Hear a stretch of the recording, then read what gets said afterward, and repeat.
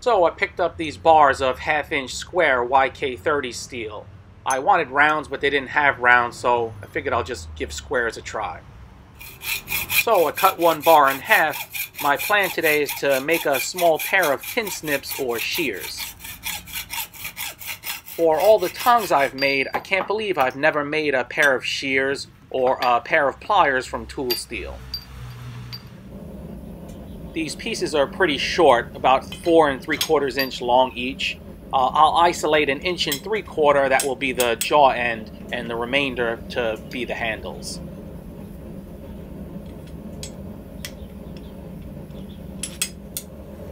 Like I said, this is the first time I've ever tried this sort of tool, and so I just want to fuller to mark between the pivot slash jaw areas and handles.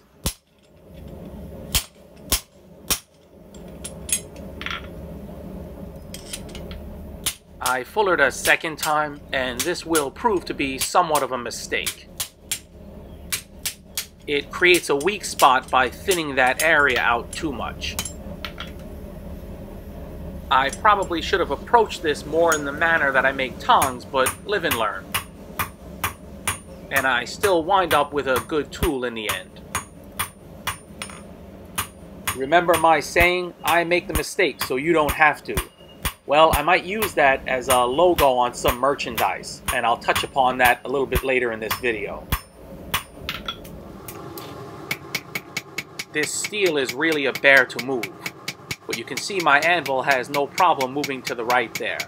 I'll fix that.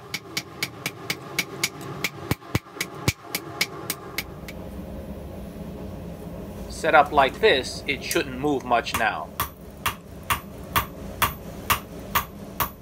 I'm taking this piece far away from the original shape. And that's not a bad thing, but you just have to think about that before you start.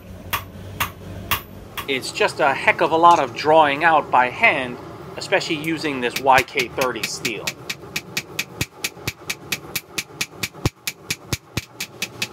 Obviously I've skipped ahead a little bit rather than bore you to death.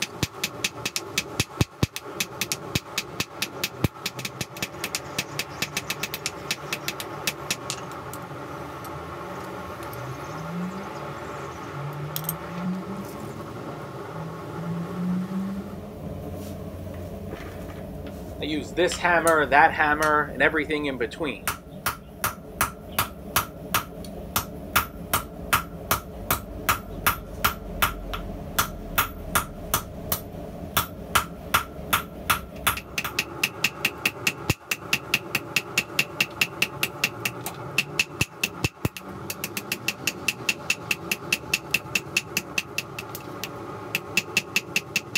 I need to thank Martin Sambrook and Jerry S. Hodges for their recent very generous donations. I also need to thank Rob Laycock for becoming my newest Patreon supporter. Thanks very much, fellas. Before I make something I've never made before, I just like to doodle in my notepad.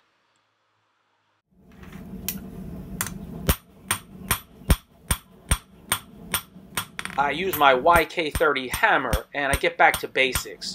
Draw a square, work to octagonal, and then finally round.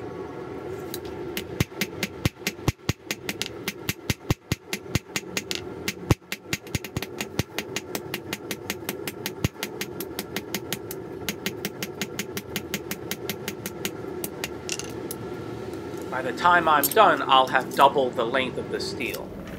What I want to announce is I just opened a Spreadshop merch store and I linked it to my YouTube, but it takes some time to activate on YouTube.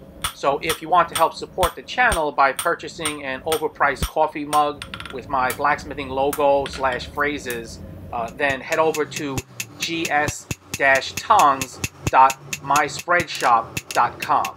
Uh, I'll add shirts, but I need to finalize my designs for those and I'll try to add a link to my Spreadshop somewhere in the description box.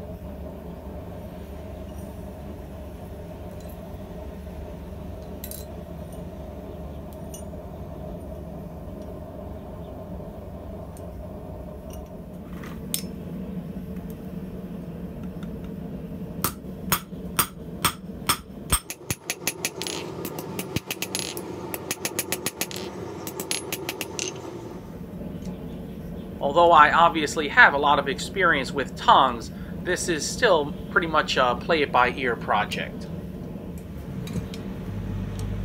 And as I'm doing this, I'm already thinking about my next pair of shears, how I'll go about it, how I'll make improvements.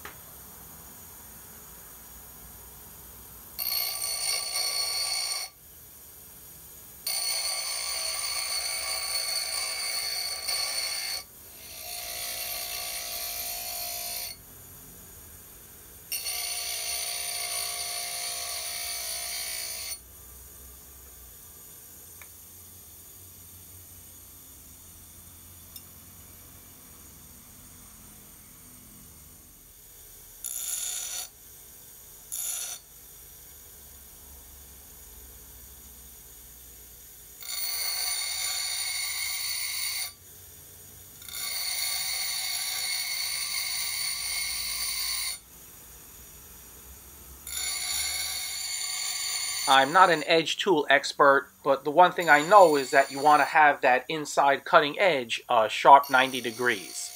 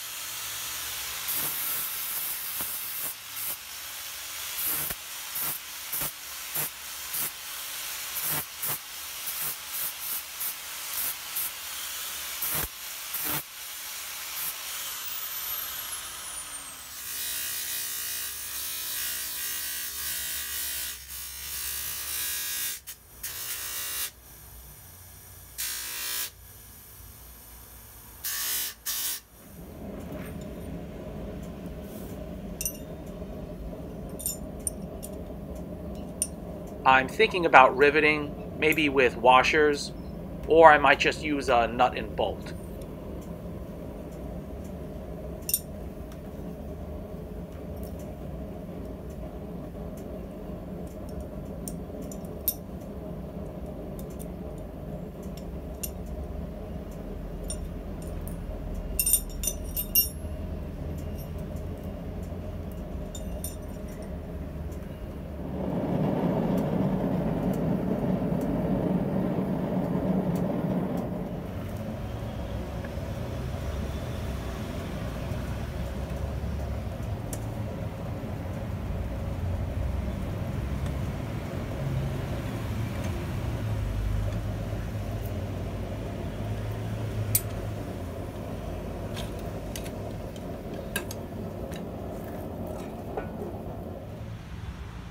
So I decided to use a nut and bolt with a lock washer. Uh, hit that with an angle grinder so it's hard to see which is the nut side. I need to lengthen and bend one of those ends down and that will prevent it from closing too far. This is very thin sheet, but this little pair of tin snips cuts really well. I'll do a few small adjustments to make this work just right. I'm excited to do more shears, tin snips, and the like. Catch you guys next time.